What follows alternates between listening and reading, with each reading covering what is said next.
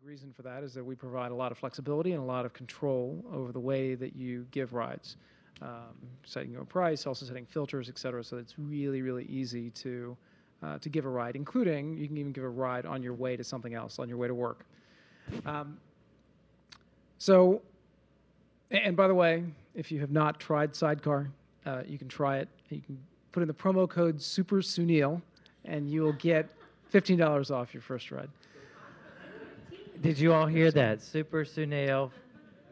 How much off? Fifteen big ones. 15 big ones off. How many times can we use that code? Because I'm here till Tuesday. um, so, so you were asking, what will this category look like in five years?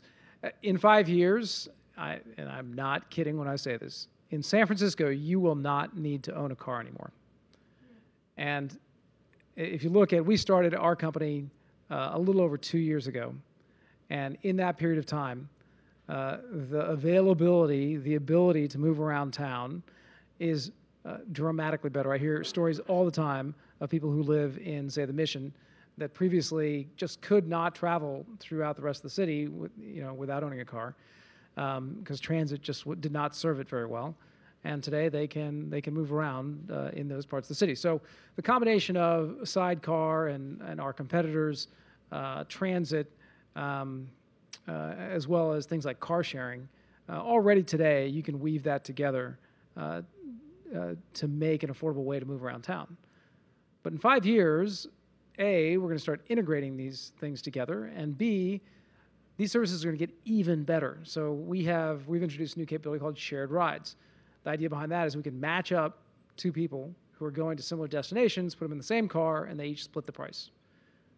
So now the already very low price, it's already like 20 to 30 percent less than a taxi, becomes more like you know a little bit of a multiple of the cost of a bus.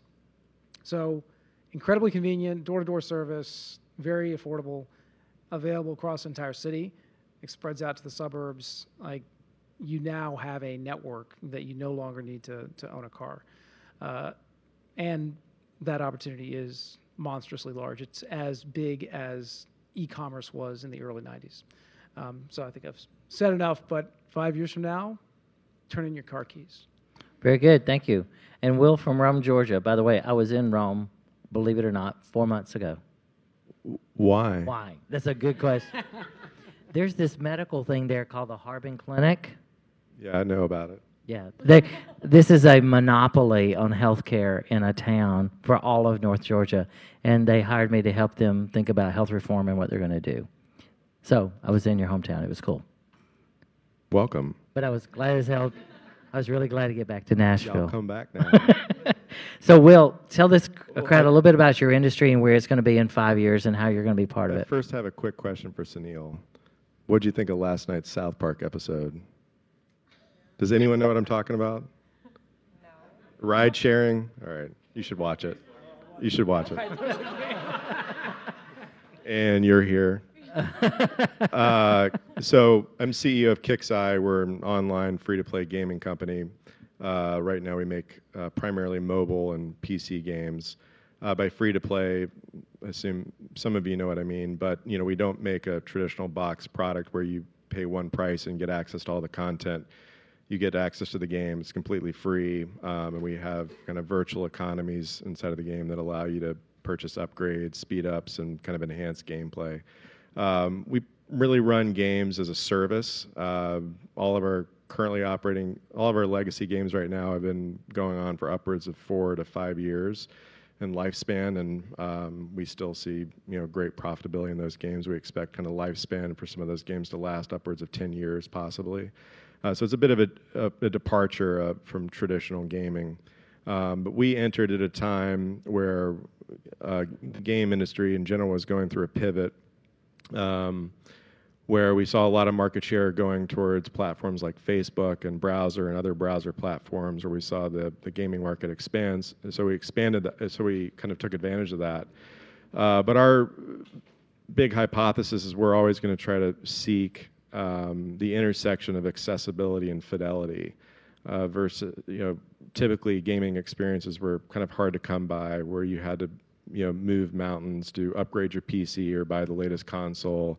Um, or you'd have to be physically in your living to, room to play these games. We want to try to provide hyper physical accessibility while being able to have a high fidelity game experience.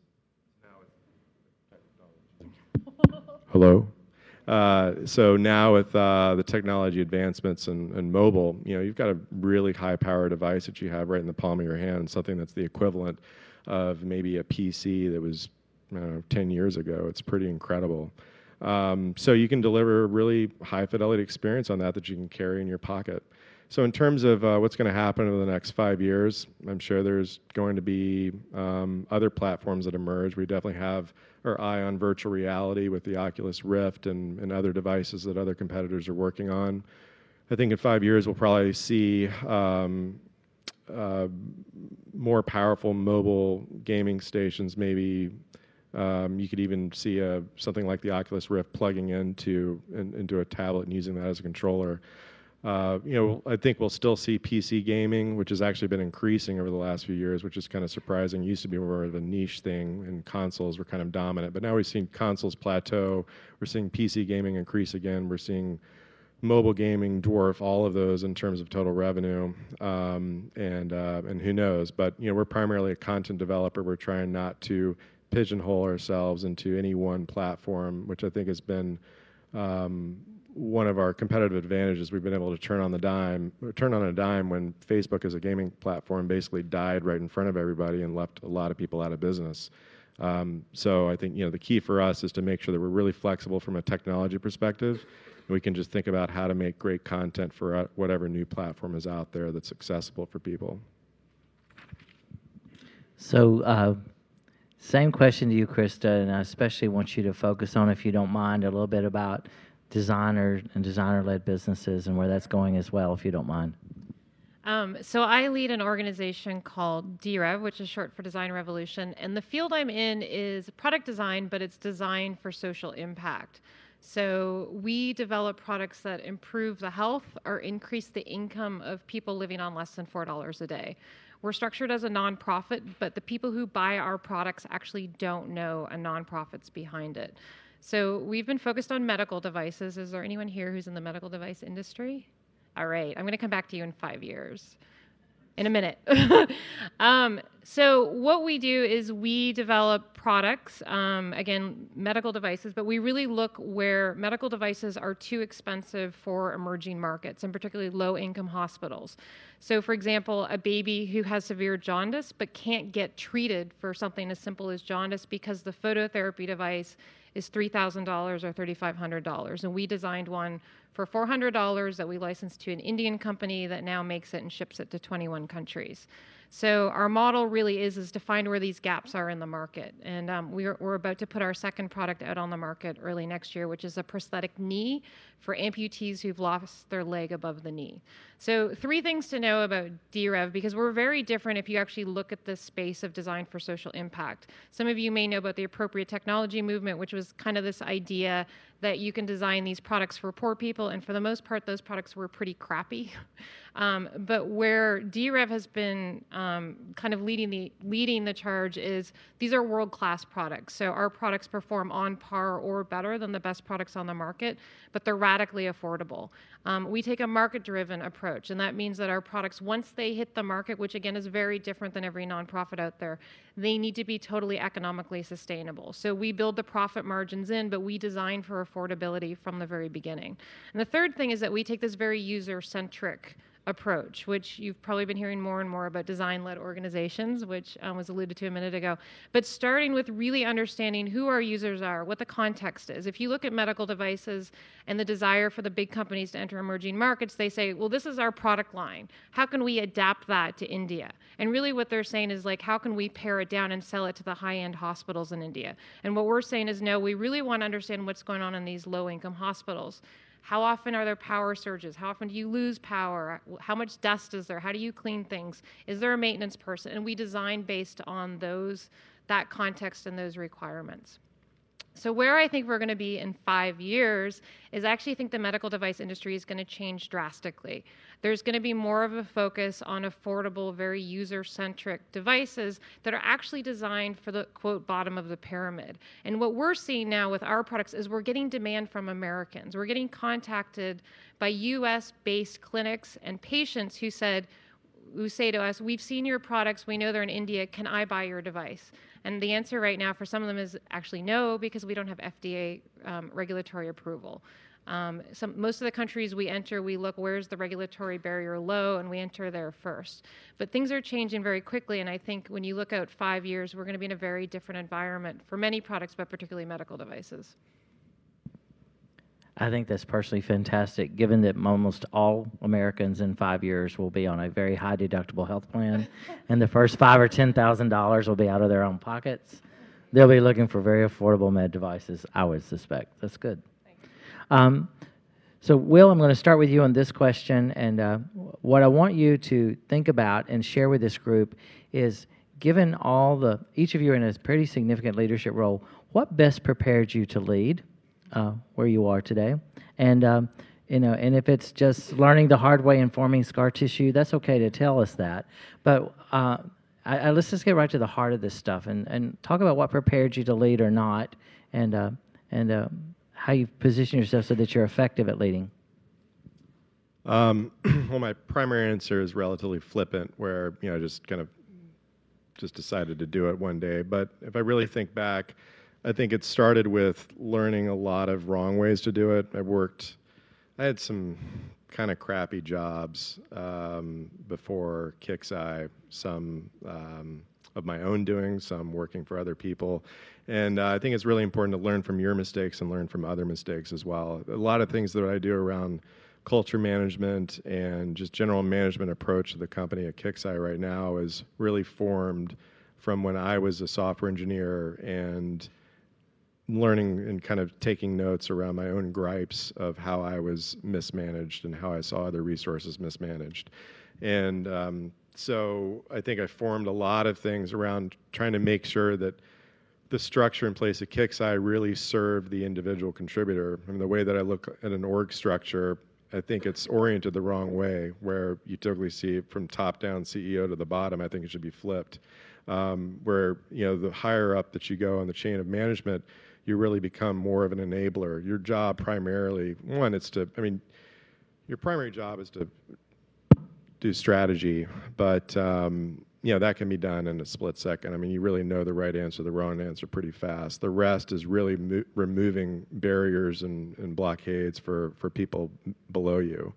Um, so at the end of the day, the way I see myself is once the strategy is set, I'm removing restrictions and roadblocks and trying to make people's jobs easier so that individual contributors are more efficient. Um, I was really frustrated with kind of the red tape and decisions that seemed to take a long time when I was a software engineer for various companies that I tried to bake into our process that how can I make sure that our software engineers and product managers and designers can move as quickly as possible. Um, so, you know, I took a lot of lessons learned of what worked and mostly what did not work and tried to formulate a, a leadership strategy. Um, but, you know, I, um, I was not promoted a lot at, at, other companies, at other jobs. I think I was promoted once in my entire life. So I said, you know, screw this. Blink, I'm a CEO. Yay. I encourage you all to do the same. so, so Krista, what most prepared you to lead or not? Well, I love Will that you said you had a bad boss. Who's who's had bad bosses here? Oh yeah, come on, we've all had them. I feel like in some ways that's the best training you have for leadership. So I used to work at the U.S. Department of State, and I worked on the Iraq desk. And my boss there, and I don't know if this is being recorded, but I'll just say my boss used to yell down the hallway, "Krista, my seven-year-old has better grammar than you." And I would go, oh God, um, and I would get chewed out. But the thing is, is my grammar did get better. I think I learned a lot about writing memos. Well, that was just Canadian, right? Maybe I was putting too many U's in things. Um, but I feel like you know you have a bad boss, and I actually had a very good boss there too, and I, it, gave me a firsthand uh, view of how a good boss and a bad boss are, and I learned what not to do, and I also learned you know my good boss actually protected me from my bad boss and let me get on with my job, and so one of the things at, at D-Rev I'm very particular about is culture and protecting people who need to be protected from kind of all the extraneous stuff so that they can get their damn job done.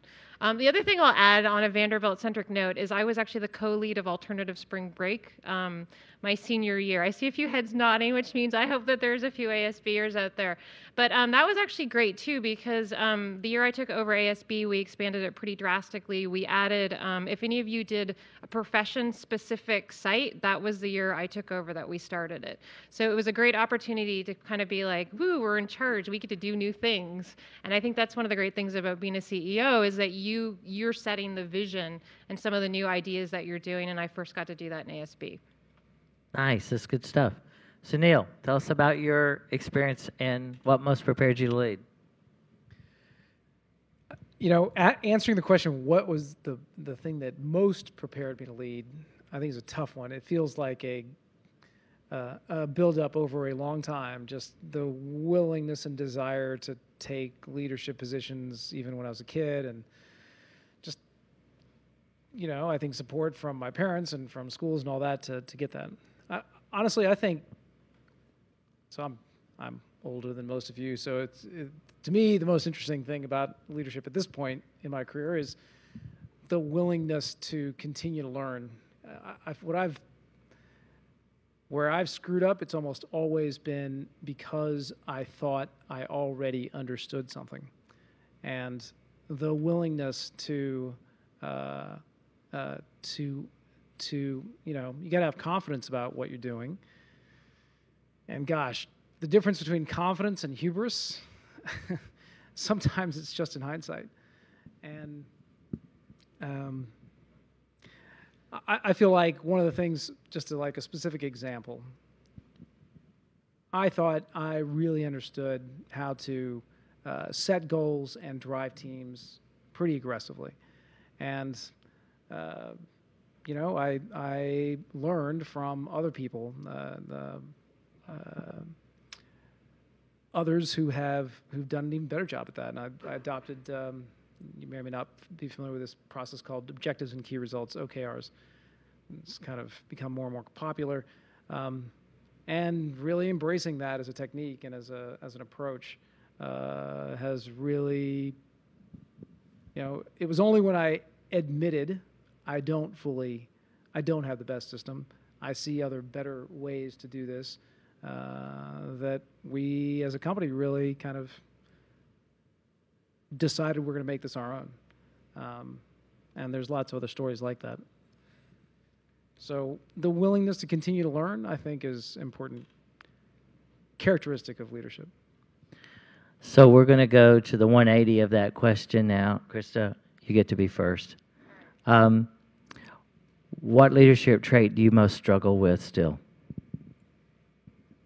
Uh, that's a great question. I think I still struggle with a lot of um, the human, the HR type issues. I think many of us, when we go into leadership positions, we don't think, oh, I really love like hiring and firing and dealing with employee issues. And I would say we actually don't have very many at D-Rev, partly because we're so small. But one of the things I struggle with is finding the balance, especially as we've been growing quite a bit the last couple of years, is finding the balance of when you're a small organization, everybody has a lot of say in things. And as you get a bit bigger, not everyone can have a say in things. And so finding the right balance of being able to give input, but also being really clear that there's a single decision maker and making sure that people um, transition through that okay. So I would say that's been one of the lessons learned for me um, in the last two years is kind of growing the organization and be going from kind of startup culture to more of a professional growth and, and structure. Thank you. Sunil, how about for you? The of all the years experience you have, what are the things that you still say, damn, I wish I had remembered that already and not done that again? I, I mean, I, I still wish I could turn off my web browser and focus more often. Uh, uh, you know, there's a bunch of. I think you really want to talk about leadership and not these um, more narrow things. I think from a feels like the probably the one thing if I could uh, uh, do a um, a better job is is being willing to uh, to to to basically how do I say it uh, to be a little bit more of an asshole. it's really easy to um, uh, to not do that, but it is, uh, and you know, you want to be uh, liked in that whole process, but there are times when it's just time for stuff that's not that nice to do. Um, firing people is probably top of the list, and you always wish that you had done it sooner, and that's kind of what I mean by it's like in the Dilbert version of management, it's the is the jerky boss, but like the rest of the team relies on the willingness of the leader to do stuff that is not that pleasant. And if there's one thing I could change, it would be that. So, Sunil, uh, just a little quick follow up on that. When you finally do get rid of the person, how does it feel when everybody says it's about time? We were all waiting, wondering if you really saw what we saw and what took you so damn long. Yeah, exactly. I mean, it's it's embarrassing. It's like, like I said, it's it's my job to recognize that this needs to be done, and when it doesn't happen, eh, yeah, it reflects badly on me. So yeah, I, I, when I realize afterwards, but you know, the truth is, with maybe a few exceptions, it's always been. In, in hindsight, you always wish you had done it sooner. So, Will, same question to you. What leadership traits are still a bit of a challenge, or the- things that you say, gosh, I got to get better at this? Um, well, there was something that I was currently aware of. I mean, I think this goes with, with everybody. You're like, well, I'll fix it. But I think, you know, looking back historically of what's been the resulting pain point is in keeping with what they're saying. It's really down to hiring. Everybody likes to think that they can walk into a room, and everyone probably here thinks they're a good interviewer um, because you just have this innate ability to determine whether or not someone's good or bad, right? Well, you're wrong. you're all wrong. You have no idea. As you know, typically someone who's articulate, you know, don't confuse articulation with proficiency ever. Um, you know, lots of politicians fall into this category. Well, all of them. Um, and this goes with employees, and people can really fool you based on you know your conversation and and how they make you feel. You know, everyone wants to feel good. Someone makes you feel good in the interview room, you you automatically have a very positive disposition with that person. Um, but um, I've cut short the conversations that I have with people and rely solely on back channel reference checking. I ask people for references, but I never call a single one of them. I use LinkedIn, make sure my recruiters do the same thing, try to find um, some degree of connection that uh, that can give me the real story on this person. We typically do a minimum of three to four back channel references for every single hire that we would do now. I made a lot of bad hires. It is really important to correct those decisions very fast, but you have to be extremely disciplined and calculating when you hire people. Um, this is especially. I mean, we you know we scaled from 90 people to 500 people inside of two years, and we made a lot of bad hires, and it took a long time to unwind that. I also made a lot of bad hires on the initial early team. I mean, typically you think that uh, a lot of people that you have in the beginning are the ones that really lay the foundation, but some of the early executives I hired, I mean, it took a solid one to two years to unwind some of the crap that they built into the system. Um, I'm really happy with where the company is right now, and we're, we're really efficient, especially at our size. I think that's pretty impressive. But I just I can't overemphasize enough that you have to be very careful with every single hire that you make, as long as you have the bandwidth to do it. I mean, we're over 500 people now. I interview every single person that comes into the company, and I make sure that I have a, a system of checks in place to see the feedback and the transcripts of every single back channel um, uh, conversation uh, reference check. Um, you've got to be disciplined about that because you're the one ultimately as as the boss, as the leader, who cares. Nobody is ever going to care as much of, as you. And if that ever happens, if that flips, you shouldn't be the boss anymore. Um, but at the end of the day, what are companies? It's a it's a it's a culmination. It's a combination of people that you bring into an organization. That's all it is. So you know, wouldn't you want to make sure that you guard and carefully select your most precious resource? Absolutely. So long story short, you're a horrible interviewer. Don't trust yourself. Do back channel references. So a, a, a follow on that. Given how fast you grew in two years, um, how did your culture change in that 24 months with that many new people coming in?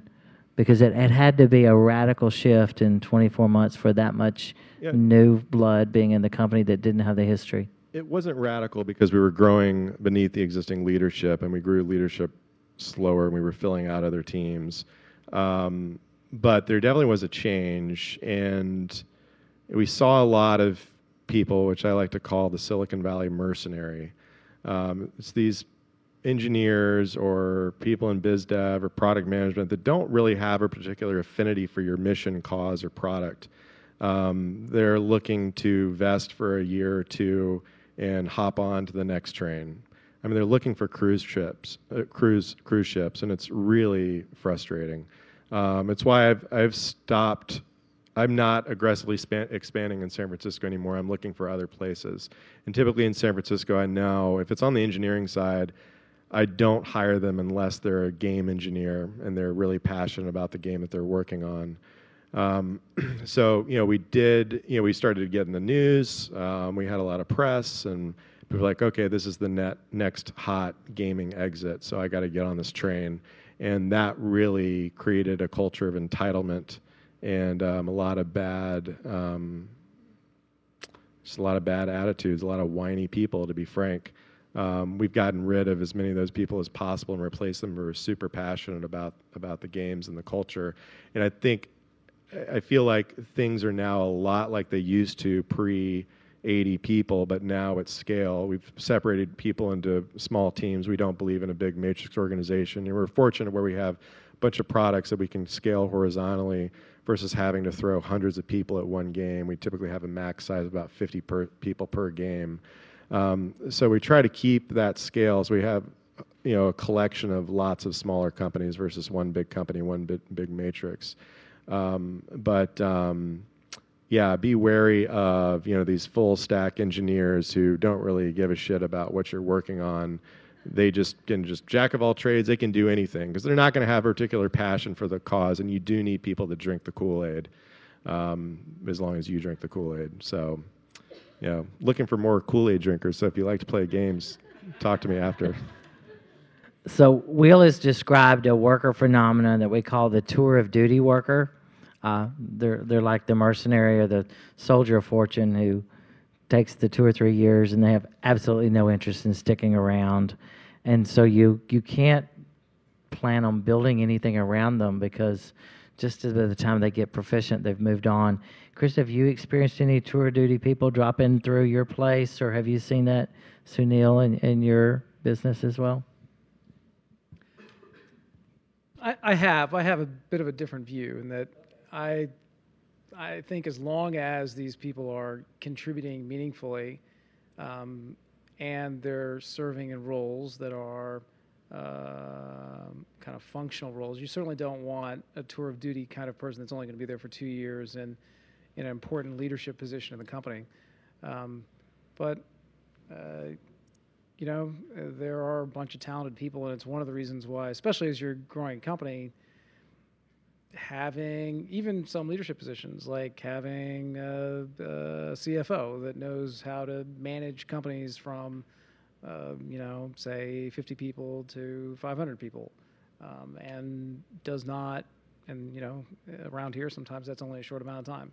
Um, can be incredibly helpful, even if they choose to not stick around after that that um, that phase of the company's growth. Um, it has to be balanced. You can't have a company filled with people who only want to be there for for uh, a couple years. Um, but I, I don't think I don't have a philosophy of I don't want them at all. Um, it, it really just depends on on the role and and uh, I, I think also part of what I react to too is my overall philosophy around talent is I want everyone who comes through Sidecar to have the experience of, wow, it changed my life. I don't care if you're only there for two years. Like, I want it to be an experience of, I developed these skills, I met these people, I, I you know, contributed to the company along the way, but like, it is a place of, of, of growth and I think that goes for everybody, including me. Uh, Sidecar has changed me, uh, as it should. And I do think that's a way to attract great talent because more than anyone, more than anything, I think people want to grow in their careers for the most part, and especially the ambitious, talented folks really want to grow. Uh, so giving them a place where they can they can see that in two, five years, uh, they are going to upskill and, uh, and, and get the experience that lets them go do something even more amazing in uh, in, in some other company or uh, or at Sidecar. Um, I think really helps foster that that idea that there's an opportunity for growth. We, we, we actually don't have that problem at all. And I think it's because we're a, we're a mission driven organization. And one of the things I like to say is, um, whereas a standard company is you know trying to maximize financial return we're maximizing impact return the thing i will say that we've definitely had a challenge with is that D-Rev pays market rates for our staff and we have very highly qualified staff that could go to any company in the bay area and that's expensive. But I also really believe in hiring top talent and retaining. And if you look at nonprofit salaries, it is dismal. Um, and so if you live in the Bay Area and you work for a nonprofit, I don't know if anyone here works for a nonprofit, it's almost like it's people are paid so poorly you have no choice but to go on to a different job within two years. And i've made it a priority at a board level with our with our funders with how our financial model is structured that we can afford to pay our people the salaries they deserve while still um, doing a social mission type work that's awesome. Congratulations to you. Well, we're not totally where we need to be yet, but one day, um, soon we will be. But um, the one thing I will say is that it's been an uphill battle, actually, proving to um, even even some of our board members, even though they're totally behind us, the value of retaining people and keeping the institutional knowledge in house. Uh, I'm going to give you all a chance for a few questions, and if you don't have any, I have plenty. Yes, sir. You have a hand up, it's, and project it so everybody can hear the question.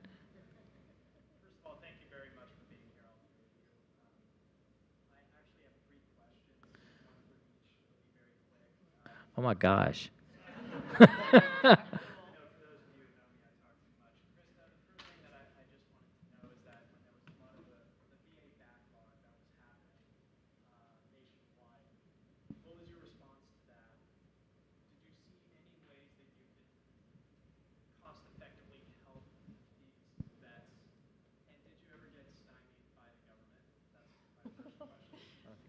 He's going to let you stew on that. That's not a short question. yeah. Sorry.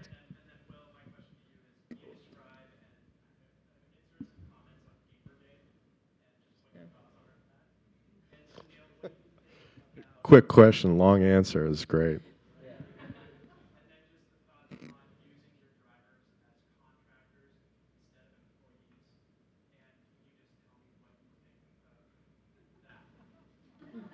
Gosh, every one of those are a dissertation sort of answer. Krista, you get to be I'll, first. I'll go fast, yeah. So um, the short answer with the VA hospitals, I don't think any of us who've been following the news for the last couple of years are surprised. I mean, the New York Times and other media outlets have been reporting delays and challenges. We at D-Rev have gotten requests from from veterans for our prosthetic knee, even though it was pre-market. So there's definitely um, there's many answers to your question, but I think the first one is that anyone who is following patients on the ground knew that there had been problems at the VA hospitals for a long time. And of course, it's specific to specific VA hospitals. I don't want to paint everyone in a bad picture. Um, the one thing I will say with um, our prosthetic knee, so our prosthetic knee is $80. A comparable knee is about $1,400 in the US, but what our military veterans who um, are fit with a prosthetic knee coming back, you're looking at a minimum of $20,000. So um, we've had these young vets who contact us and say, hey, I want to go to the beach or I want to go kayaking. I ain't wearing a $20,000 knee to do that. So it's almost like they want to swap our knee in um, for those types of activities not quite treating it like a disposable knee, but like more of an active knee that they can bang up. But all of these things just indicate to me that there are major problems in the system, but there's been these red flags all along. We'll take yours next. Go ahead. Gamergate. you know, one of the important things as a leader is you have to eliminate distractions. Gamergate is a distraction. Um, I don't even know. I don't care.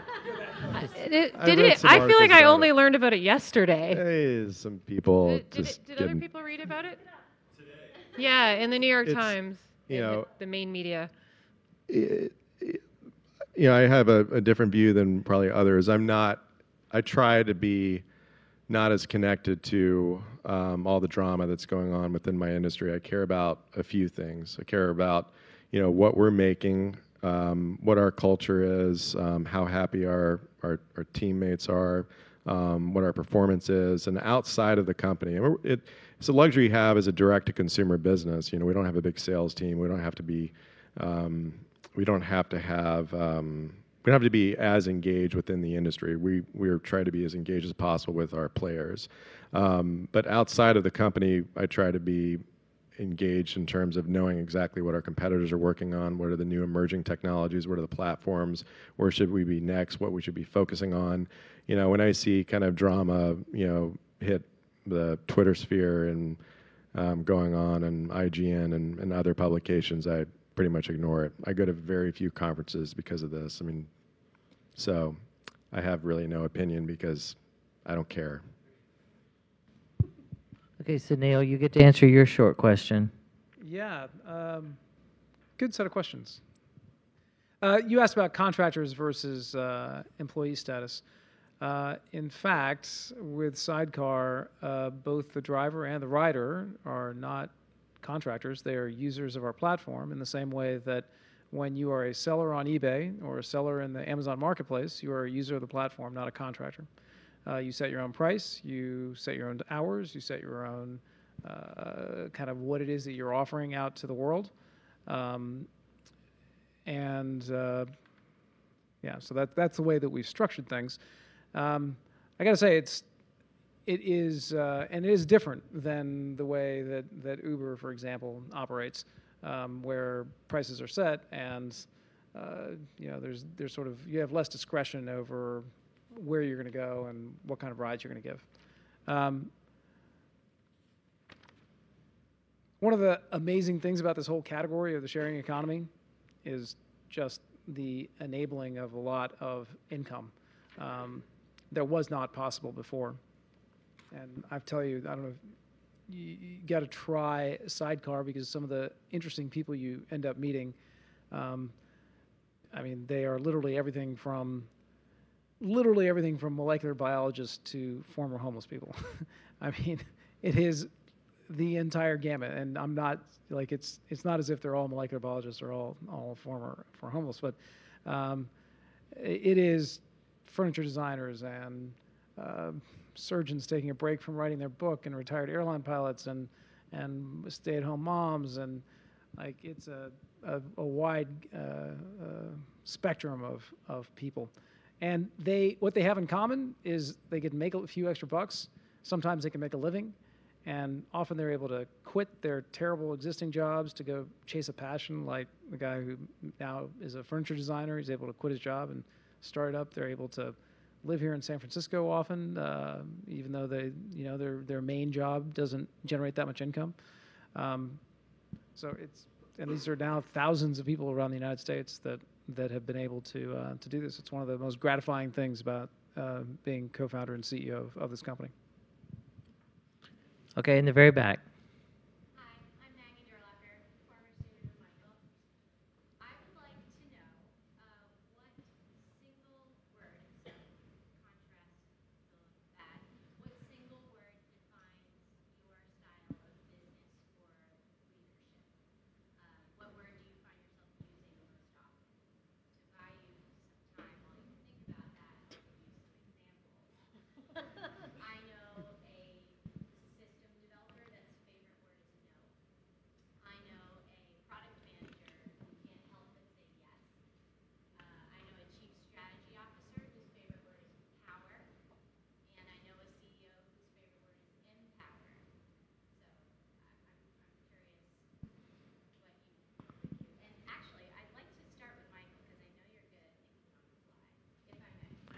Course, I'll start, and I'll answer with a single word, and that is execution. Ideas are cheap, execution is valuable. Execution is the word. What's your word? Going to actually give two. Maybe that's cheating. Um, so the first is impact. Sorry, too bad. It makes it easier, right? Um, the first is impact because I think you know with everything we do, at the end of the day, we're we're trying to maximize the impact. The other thing I'll say, like when you first said it, the first thing that popped in my head was actually determined. Um, I'm I'm sure my other CEOs here were faced with someone or many people who said you're not going to be able to do it. If I had like I don't know, ten thousand dollars for every person I ran into who, when I explained our model, they're like, "You're not going to be able to pull it off." Like, we would be doing so well right now. So I think, and and that's one of the things like I like remembering now as we're getting a bit bigger and we don't necessarily have different budgets to do things. Like we accomplished a lot on hardly anything, and we did it. And I think many of us who are in these roles, um, we're extremely determined to get where we are. Um, Michael's absolutely right around execution, uh, but to kind of expand on that, I'd say tenacity. Uh, you know, you can't give up. I mean, obviously, in, in absence of data that's telling you you're an idiot and you're wrong, you need to do something else. Stop beating your head against the wall. You got to keep up the enthusiasm. You got to maintain the drive, and you got to be tenacious. Uh, actually relates to a favorite question of mine. Um, I ask people, uh, what is the verb that, uh, when you're doing that thing, gives you the greatest satisfaction, gives you a sense of flow? If you're familiar with uh, Csikszentmihalyi's uh, uh, idea, um, gives you fulfillment. And um, thinking about that myself, 20 years ago, um, I realized that my, my verb is create. I, that's what I love doing. That's what I, gives me satisfaction, gives me joy. And ever since I realized that and have, and so it's less about the company, it's really about me.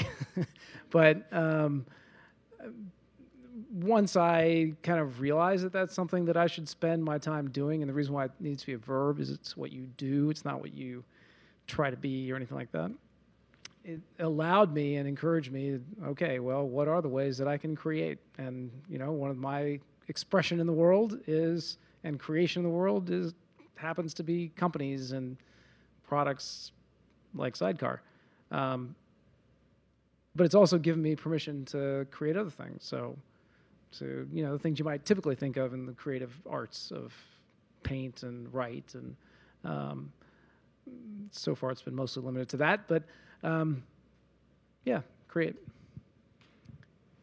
Over here.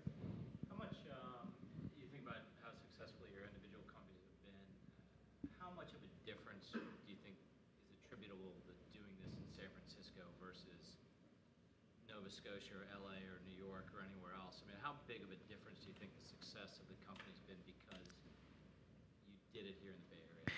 Okay, for those of you that can't hear in the back, the question was, what made the what was the difference it made having the business here in San Francisco or the Bay Area instead of somewhere else that drove your success? Who wants to start that? I, I mean, I think I can easily say for Sidecar, fundamental to the success. Um, for starters, the particular innovation that we had, um, which was using an app to find a stranger to get and get in their car. um, I mean, talk about people saying there's no way that's going to work. Uh, and interestingly, everybody in my demographic said that's not going to work. Like, move on to something else. But what I found were millennials, my co-founders, millennial. They were all like, "Yeah, I'm sure I'd do that," and as long as it was affordable. And so and but I do think that it, there's a willingness to try things, especially, and there's just a huge per- percentage of early adopters and sort of tech-enabled millennials uh, here. Um, that really helps things take off a little bit faster. And then I think importantly, access to capital, access to talent is all uh, is all here. Okay, Will. How is it important to be here in, in this part of the country to do this?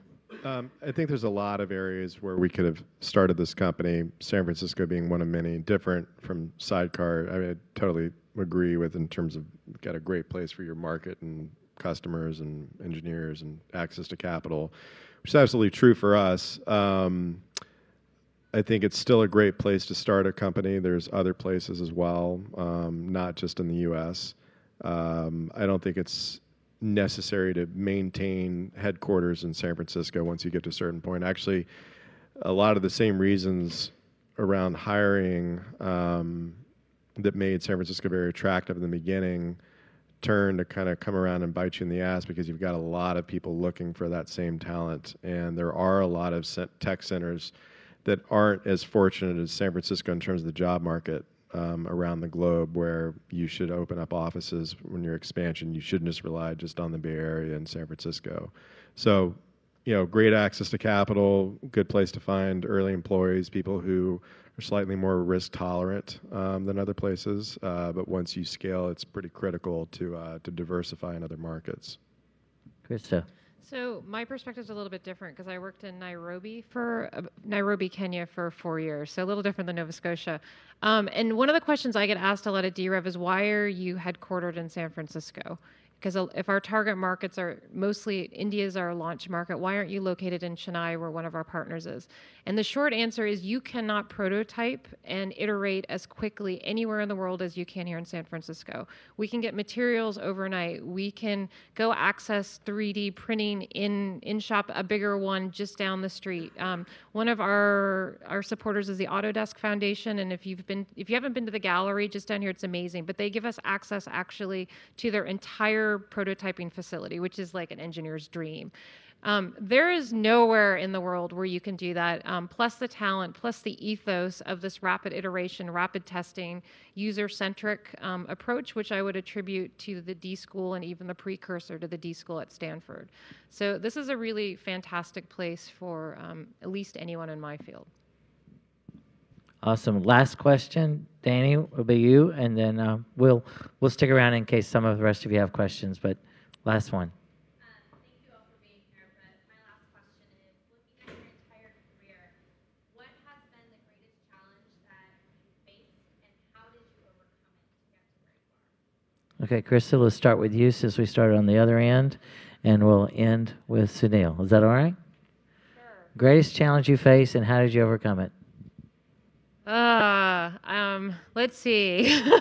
there, there's been there's been several. I think probably the one I would mention is um, I'm actually not a co-founder of D-Rev. I was brought in when the company was really struggling, and one of the things that was interesting is the board did not disclose to me how bad a shape the organization was in when I took it over. So um, that was probably my biggest challenge was, you know, coming in, you have a staff that was demoralized. Um, the books were kind of a mess. Everything was kind of a mess, but it had a bit of an illustrious early history for a very small organization.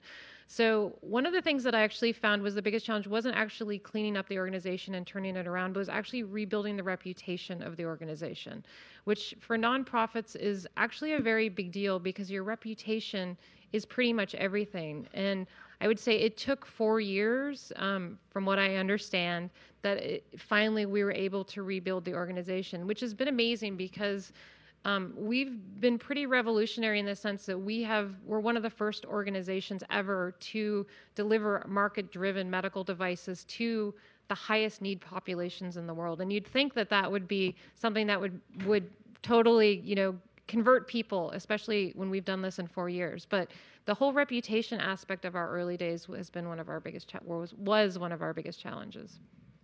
Okay, Will, for you. Um, I'd have to say just working with other human beings in general. I'm serious. I know, hard to believe, hard to believe. Um, yeah, I, uh, yeah, I yeah, started my career as an engineer. Well, started. I mean, I started coding when I was like five years old, and um, so I've you know, computer was my best friend. Um, so you know, when I got into a management role, um, you know, you can't approach it like a software engineer. You can't just tell everybody exactly what to do. Versus the computer doesn't really talk back unless you get a syntax error or something.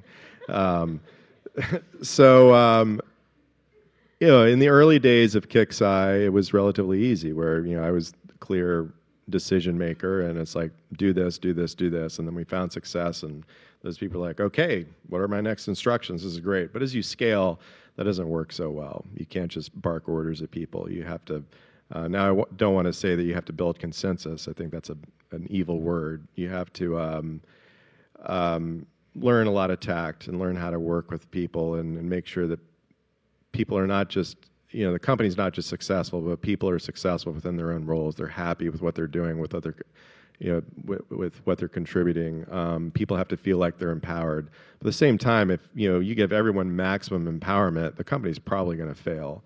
So you have to otherwise they'd be doing it themselves.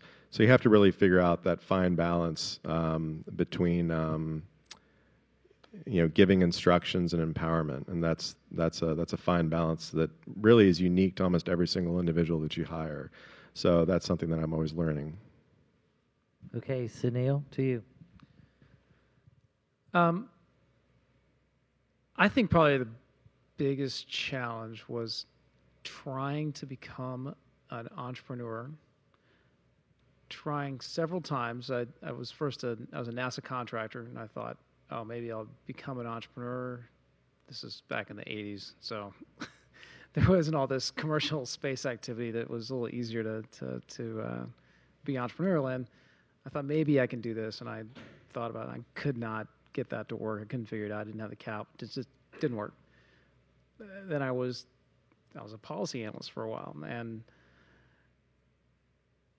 tried to pull friends together that I knew to go chase an idea that I thought was great. And after about two or three meetings, one of them asked, "Well, who exactly is going to build this thing?" and I realized I had no idea. I had no idea how was, who was going to do it, how it was going to get done, and so I stopped that too. And um, I, I almost, I almost decided not to become an entrepreneur and decided uh, maybe I'd go be an academic, go back to school and try to, um, you know, take a different path. And um, but I I managed to convince uh, you know an IT company, uh, America Online, to to hire me because of this little side project I'd done. So that that pivot of like frustrated efforts at not quite trying trying to become an entrepreneur, not quite doing it, um, and finally kind of overcoming that hurdle by really just trying all kinds of different angles and uh, working networks and leveraging side projects that I'd done in the past to demonstrate that I actually knew something about this this new world. Okay, so I'm going to turn this back over to Tom. It's been a delight to visit with you from Nashville. Give our panel a big hand.